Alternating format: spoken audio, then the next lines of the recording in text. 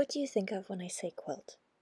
Quilting is seen as a craft by the art world and by the general public, something womenfolk do in their spare time.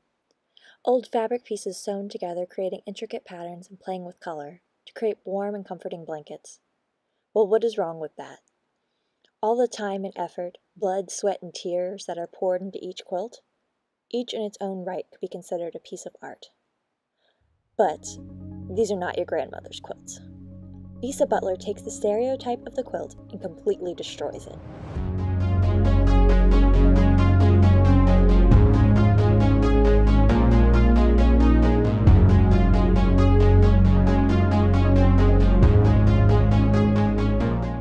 It cannot be questioned whether or not this is art. These portraits, so lifelike and full of color, tell the stories of real human beings, many of her quilts being based on historic photographs. Today, I will be looking at I Go to Prepare a Place for You, that Bisa Butler completed in 2021.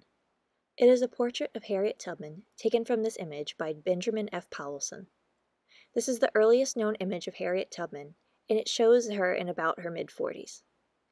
For those who don't know Harriet Tubman, she was born into enslavement and escaped in 1849 with her two brothers. She then worked with the Underground Railroad to help other enslaved people escape. It was said that she helped anywhere from 70 to 300 people escape. She worked with other abolitionists such as Frederick Douglass, Thomas Garrett, and Martha Coffin Wright. She also worked as a nurse, cook, and laundress during the Civil War, aiding fugitive escaped people. She's an icon of the American Civil Rights Movement and is replacing Andrew Jackson on a $20 bill by 2030. Butler's quilt, steeped with symbolism, shows Tubman gazing right at the viewer. The quilt stands at about 90 by 64 inches. It is constructed using an applique process of sewing one piece of fabric on top of another, layering these fabrics to simulate depth and movement, showing lighter and darker stripes of Tubman's large skirt to show the depth. She used cotton, silk, and velvet fabrics. The velvet was used to convey texture in the hair to give it a soft look and feel. Butler uses a freehand, long arm quilting machine to add the applique and to quilt the layers together. There's so much meaning steeped into this quilt. The cool blues symbolize the hiding and blending in. Tubman had to keep a cool composure and to keep hidden during her time traveling on the Underground Railroad. The red symbolizes her fierceness and determination. She was a determined woman to continue sneaking back into the Deep South to extricate so many enslaved people. Her dress is made from patterns and fabrics based on designs by women from the Congo River.